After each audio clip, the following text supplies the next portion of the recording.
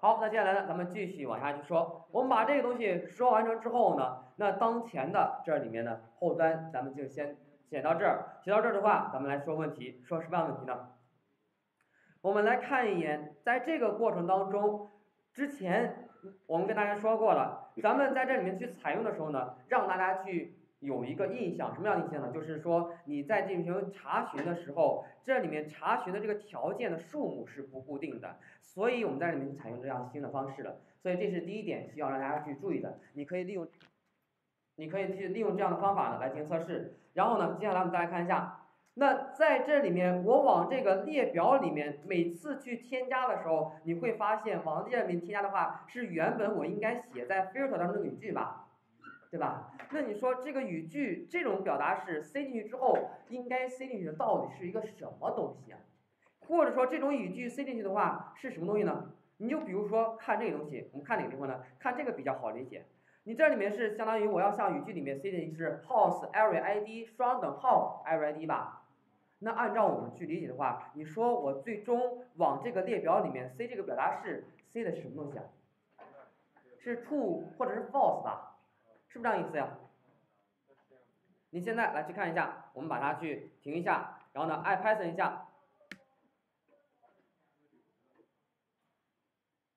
我们 Python，然后呢，就比如说按照我们所说的，我这里面先构建出来一个列表，然后呢，紧接下来我 append 往列表当中我去添加一个表达式，添加一个什么表达式呢？就比如说我现在先构建一个变量吧，比如说 a 等于一，然后呢，我放里面 append 添加一个表达式，说什么的呢？是 a 等于等于一，你说最终塞到列表里面的什么值？list 里面是不是应该是 true 啊？这是我们正常理解吧？所以之前的话，你在这地方怀有疑问，是不是就怀疑在这地方了？我最终往里面填的这个数据，跟我直接写在这里呢，能不能是一样的？是这样意思，就相当于你把这里面的语句放到这儿，按照我们的理解，应该 C 里的就是 true 跟 false 吧？但真的是那个东西吗？它实际上是不是的，所以这点是需要大家注意的问题。那我们现在来去看一下，咱们怎么去做呢？我就比如说，我从这里面呢，咱们把相对应的这个 models 引入过来。咱们从这个 iHome，或者我在里面去，咱们在里面写一下吧，这有提示的。从从 iHome 里面的 models，我引入一下 import 星，引入到星之后的话，然后我们现在来去看一下。那比如说，我们还是构建了，仿照刚才我构建一个列表。构建一个列表之后，接下来我往这个列表当中去追加语句了。我追加一个什么语句呢？就仿照刚才我们所去说过的，比如说就是这个 house area ID。那我们先来看一下，我就写了 house 这里面的 area ID，然后呢，我让它等于等于，比如说就等于一吧，这是最终是不是一个变量值啊？等于这样的方式。然后呢，我让它进行追加，追加完之后，我们再来看一下 list 当中到底是什么东西呢？你有没有发现这里面说的是一个 expression，代表是表达式吧？所以也就意味着说，它往里面追加的时候呢，并不是 true 跟 false，而是真正的已经把这个东西给你转换成一种 circle 语句的那种条件了。它是把这个条件给你塞进来了。所以我们回过头来，在这里面进行星星，在这里面进行星解的时候，也就相当于是把那个条件塞过来了。能明白这个意思吗？所以这是我跟在这里直接去写是一样的道理。那有同学又有疑问了。说你在这个地方，这不就是一个对象的属性跟双等号进行判断吗？那最终怎么会变成一个表达式了？怎么应该变成一个表达式了？这就是我们要跟大家去说明的一个问题，说明了一个什么问题呢？你在 Python 当中所看到的所有这样的双等号也好，看到的我们刚才在进行比较的时候，像这样的少于等于号或者大于等于号呢，实际上它都是意味着是一个。方法的执行是一种魔法方法，是哪一种魔法方法呢？我们现在来看一下，我就比如说单独的就看这个表达式，我把这个表达式拿过来，house 点 area 是这样东西吧？刚才咱们对应双等号等于一，那它相当于指什么东西呢？相当于是说把双等号的前面的东西当做一个对象，然后呢调用这个对象当中会有一个魔法方法，哪个魔法方法呢？叫做双下划线 eq。，eq 就是 equal 的一个缩写方式，双等号就等价于 eq 方法的执行，所以就相当于是调用前面的对象执行里面的 eq 方法，然后呢把双等号后面的值给你传过来，也就相当于这句话就变成了这个方法执行了。你再来看一下这个方法返回什么东西呢？返回出来的是不是就是这样的一个查询的一个表达式啊？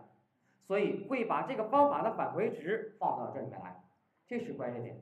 所以你现在再来去理解一下，我们说了这个 house 里面的 array ID 是我们在定义模型类的时候所给这模型类里面补充的这个 array ID 吧？它是普通的类型吗？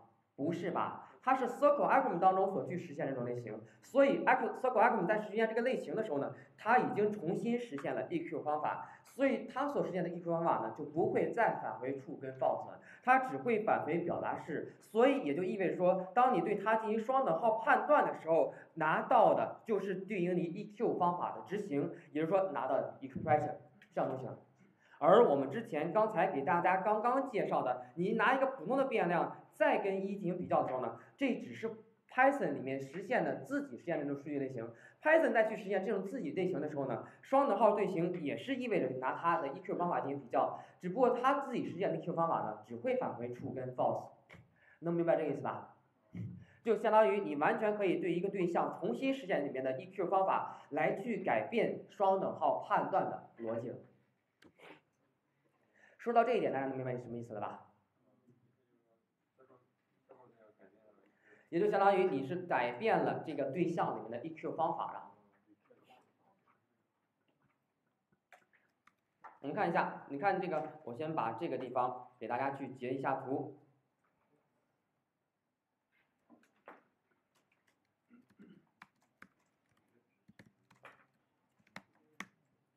我们把这样的一个图截一下，然后呢，那咱们怎么看呢？比如说。我们就把这个对象给你拿过来，如何去查看这个对象里面的这样的所有提供的东西啊？dir 吧，我们来看一下，dir 一下，在 dir 当中你往上走，这里面你看一下有没有相对应的，能不能看到这个 eq 呢？这都是去提供的，看一下这就是 eq 方法吧，这是他把这个方法已经实现了，然后从它相当于是重新实现了，你看一下这个 GE 代表什么东西呢？g 代表的是 greater，也就说是大于等于。然后呢，还有像这个这样的一个 greater than GT 代表是大于，还有一个 LE 代表是小于等于，LT 代表是小于。所以呢，每一种表达式的运算操作符都意味着是对应一个对象的方法的调用。所以你完全可以改变这个方法来去改变它的默认行为。那你看一下，我就去定一个普通的变量 a，这是一个整形吧？你再定义 dir a，你看 dir a 当中有没有对应的那个方法呢？你看一下这里面具有这东西吗？没有这方法的话，它相当于就调用的这个父类的这个 object 那种默认的东西。因为我们说了，在 Python 当中是不是像所有的东西都是对象啊？所有东西都是对象。这个 A 像它整形，它也是一个整是整形类的一个对象，所以呢，相当于就调用那个东西了。这里面没有看到，没有看到的话，我们来去试一下，看它一下能不能调用里面的杠杠 eq 这方法。比如说拿着一，它就相当于在这里面本身是没有的，直接是调的那个父类的这个东西了。啊？什么？Python 三能够看得出来吧？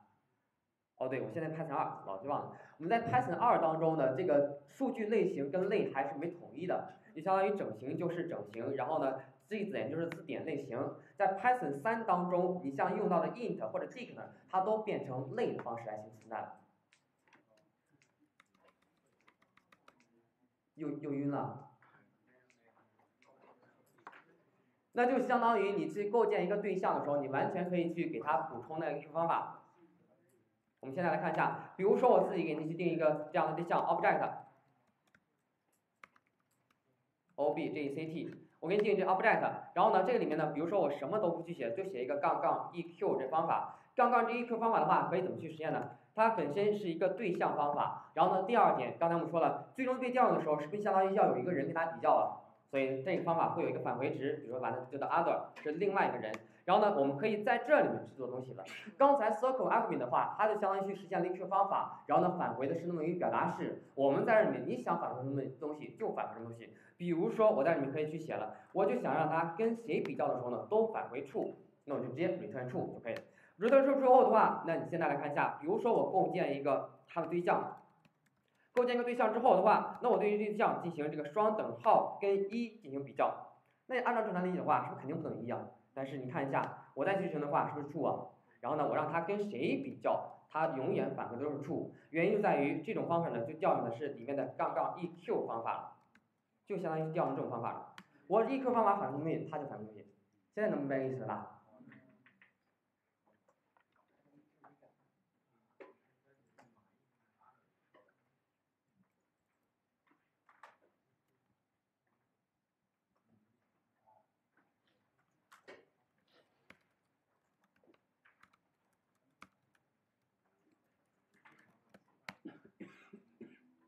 好，这是关于这点。那我把这点给大家去澄清之后的话，回过头来我们再来看一下，那我们在这里面再进行追加的话，是不是就没有问题了呀？